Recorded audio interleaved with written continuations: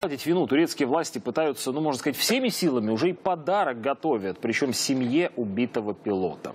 В курортном городе Кемер хотят выделить дом родственникам погибшего летчика Олега Пешкова. Подполковник был командиром Су-24. В ноябре минувшего года турецкий истребитель атаковал наш бомбардировщик во время антитеррористической спецоперации в Сирии.